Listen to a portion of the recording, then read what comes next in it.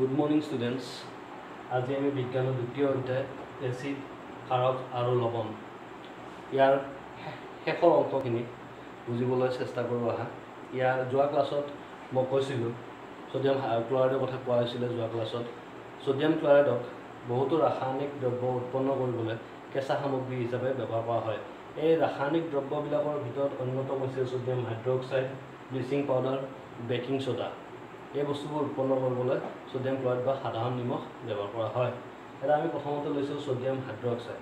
Sodium hydroxide কেনেকৈ উৎপন্ন হ'ব? ইয়াতে আমি কি ল'ব লাগিব? Sodium ক্লৰাইডৰ N A C L sodium ক্লৰাইডৰ এটা জলীয় দ্ৰব্য। তাৰমানে ইয়াতে পানী যোগ হৈ থাকিব। পানী যোগ হৈ থাকিলে এইটো আমি জলীয় দ্ৰব্য বুলি ক'ম। তাৰ উপৰি এই জলীয় দ্ৰব্যটোৰ মাজেৰে বিদ্যুৎ প্ৰবাহিত কৰিব লাগিব। বিদ্যুৎ প্ৰবাহিত কৰাৰ ফলত কি উৎপন্ন হ'ব? Sodium hydroxide. ক্লৰিন আৰু হাইড্ৰজেন গেছ এই তিনিটা পদাৰ্থ উৎপন্ন হ'ব। এই পদ্ধতিটোক ক্ল'ৰ' এলকালি পদ্ধতি বুলিও কোৱা হয়। ইয়াৰ কাৰণ কি? ইয়াতে ছ'ডিয়াম হাইড্ৰক্সাইড এইটো এটা খাৰ। ছ'ডিয়াম হাইড্ৰক্সাইড উৎপন্ন হৈছে তাৰ উপৰি উৎপন্ন হৈছে ক্লৰিন গেছ। এই ক্লৰিন উৎপন্ন হোৱাৰ কাৰণে আমি ক্ল'ৰ' বুলি কৈছোঁ আৰু ছ'ডিয়াম হাইড্ৰক্সাইড যিটো আমি এলকালি বা বুলি কওঁ সেইটো কাৰণে কোৱা হয় এলকালি ইয়াক গোটেই পদ্ধতিটো কোৱা হ'ব এলকালি পদ্ধতি।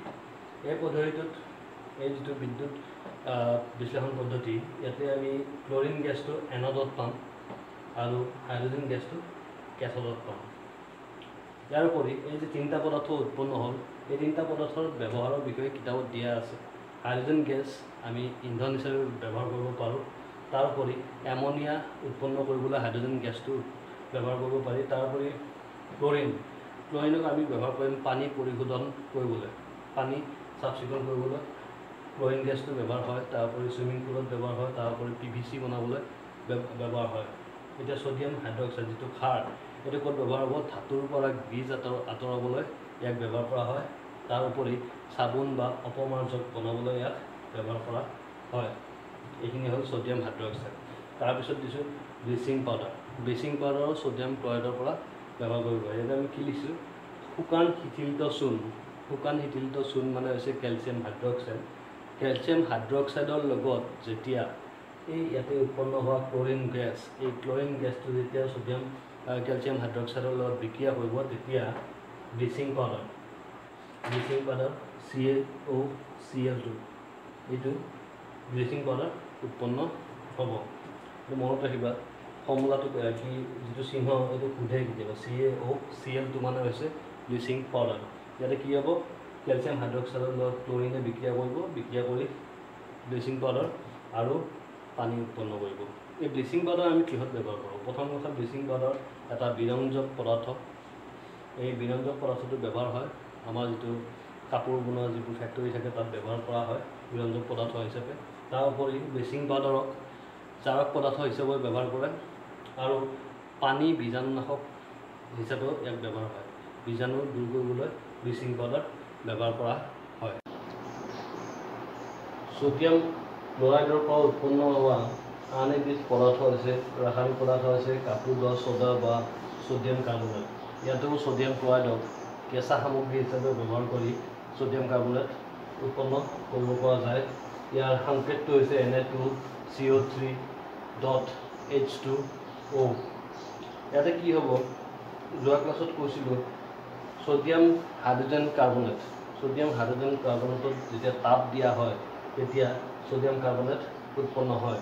আকৌ সেই ছ'ডিয়াম কাৰ্বনেট যদি আমি স্ফটিকীকৰণ কৰোঁ সেই ছ'ডিয়াম কাৰ্বনেটৰ যদি আমি স্ফটিকীকৰণ প্ৰক্ৰিয়া চলাওঁ তেন্তে আমি কাপোৰ ধোৱা soda N A two C O' three dot H two O' এই বস্তুটো পাওঁ তাৰমানে উৎপন্ন হোৱা ছ'ডিয়াম কাৰ্বনেটক আমি পুনৰ স্ফটিকীকৰণ কৰাব লাগিব।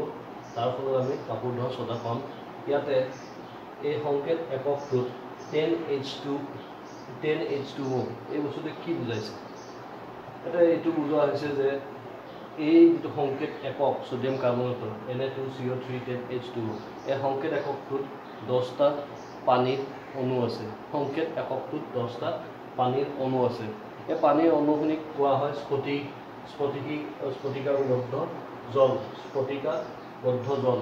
এইটো মানে হৈছে লৱণ এটাৰ সংকেত ছ'ডিয়াম কাৰ্বনটো এটা লৱণ লৱণ এটাৰ সংকেত এককত থকা নিৰ্দিষ্ট সংখ্যক পানীৰ অণু।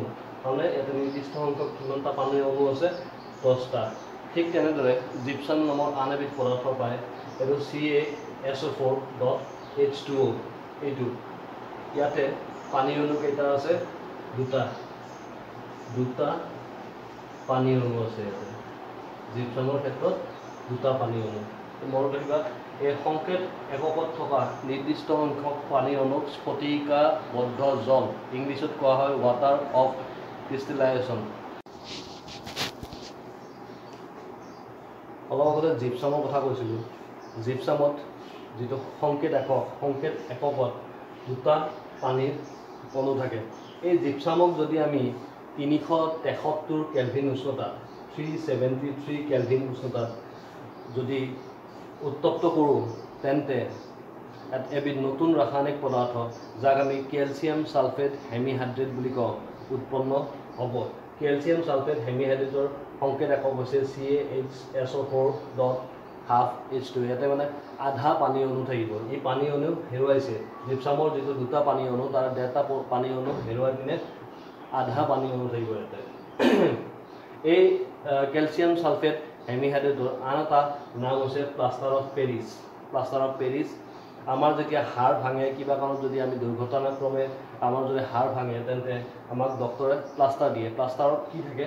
এই প্লাষ্টাৰত পেৰিছ থাকিব। এইটো এটা বগা পাউডাৰ।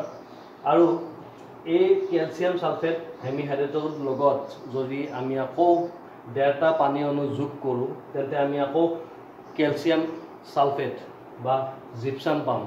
তাৰমানে কেলছিয়াম হেমিহাইড্ৰেটৰ কেলছিয়াম ছালফেট হেমিহাইড্ৰেটৰ লগত যদি পানী অণু যোগ কৰা যায় তেন্তে সি জিপচামলৈ পৰিৱৰ্তন হ'ব পৰিৱৰ্তিত হ'ব। এইটো এটা বিপৰীতমুখী পৰিৱৰ্তনৰ উদাহৰণ। ক্লাছ ছেভেনত পাইছিলা বিপৰীতমুখী পৰিৱৰ্তন।